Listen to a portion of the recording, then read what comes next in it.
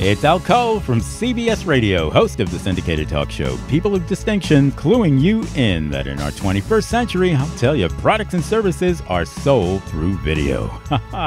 That's right, so sell it through video at Al Cole Enterprises and SAG 14 Production Company. You got it, and right now you got it too. Enjoy another outstanding audio clip from our international guest list featuring my son, the fantastic Benji Cole on People of Distinction.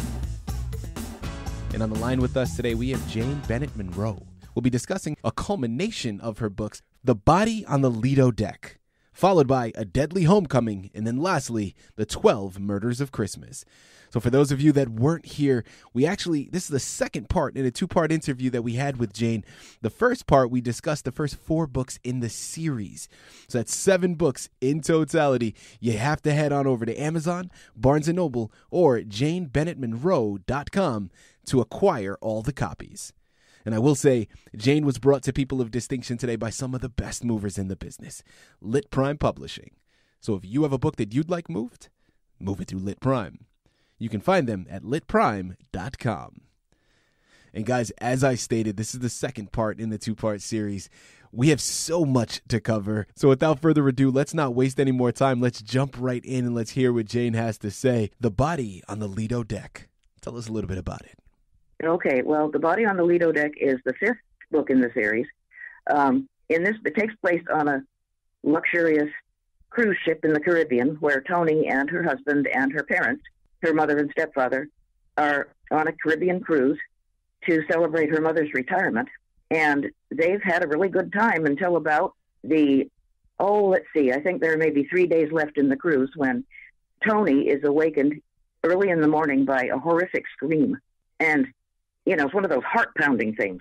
Mm-hmm. And after several unsuccessful attempts to get back to sleep, she decides to go up to the Lido deck.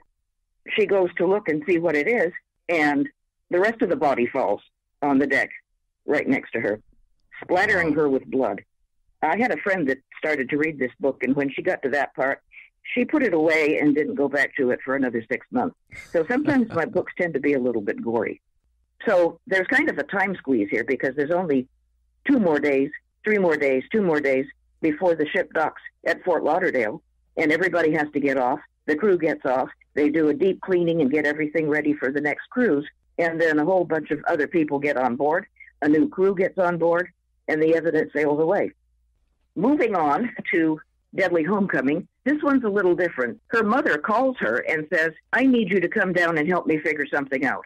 So it turns out that uh, her mother's best friend, Doris, was recently married to a guy named Dick, and they moved into this house, which Doris swears is haunted, and Dick has disappeared. And so Toni's mother, Fiona, asked her to come down, her and her husband Hal to come down and see if they can't figure out what's going on.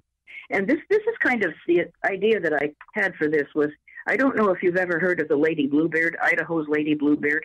I have not. No. There was a lady, lady named Lyda Southard that poisoned six husbands and one of her kids and uh, a relative of one of her husbands by soaking flypapers back in the day. It was like back in the very early 1900s um, when flypapers had arsenic on them.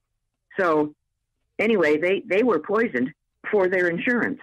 So anyway, she does solve the mystery, and I'm not going to go into detail as to what it's all about, but it's kind of spooky and creepy.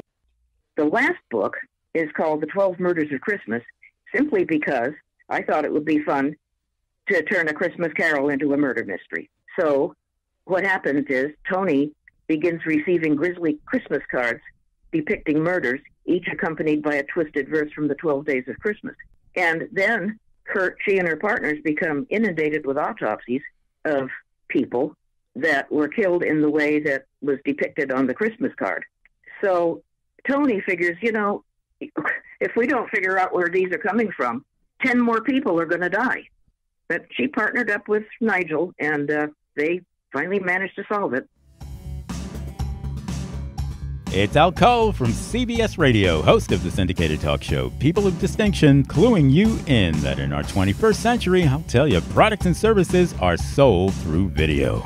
That's right, so sell it through video at Al Cole Enterprises SAG 14 production company. You got it, and look forward to enjoying other outstanding audio clips from our international guest list featuring my son, the fantastic Benji Cole, on People of Distinction.